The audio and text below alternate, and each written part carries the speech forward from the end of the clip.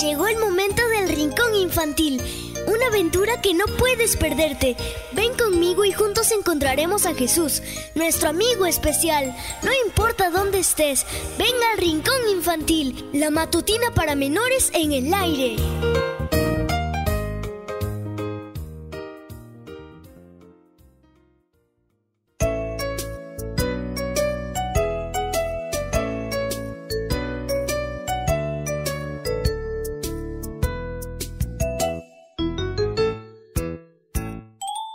Hola, hola, mi príncipe y princesa de Jesús.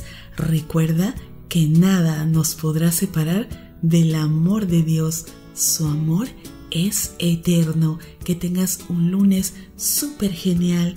Te saluda tu amiga linda.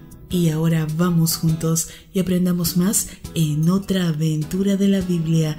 ¿Listos? Comencemos.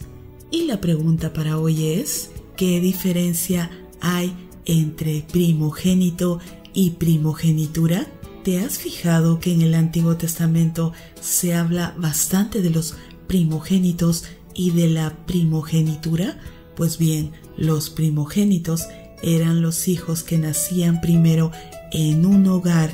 Esto sigue siendo lo mismo hoy en día.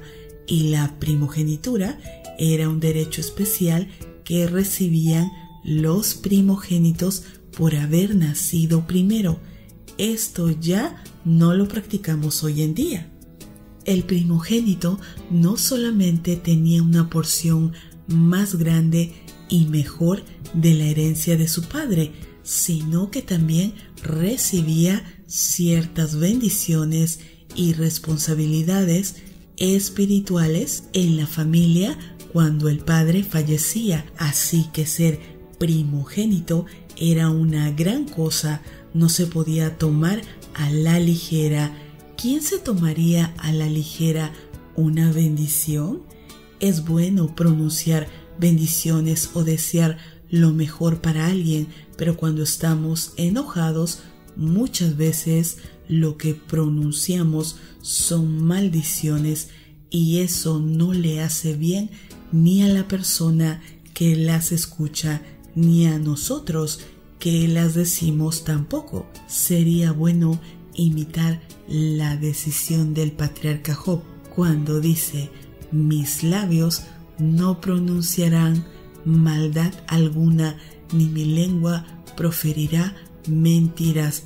Job 27:4. Pídele hoy a Jesús que te ayude a no decir nunca maldiciones ni mentiras que tu manera de hablar sea positiva y una buena influencia para las personas que te escuchen.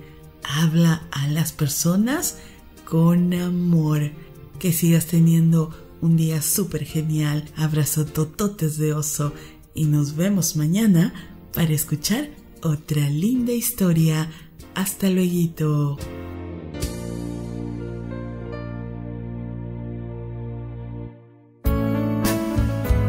Gracias por permitirnos ingresar a tu hogar, tu auto, oficina o trabajo. Volveremos pronto para seguir conociendo más bendiciones para tu vida. Esta fue una presentación de Canaan Seven Day Adventist Church y DR Ministries. Hasta la próxima.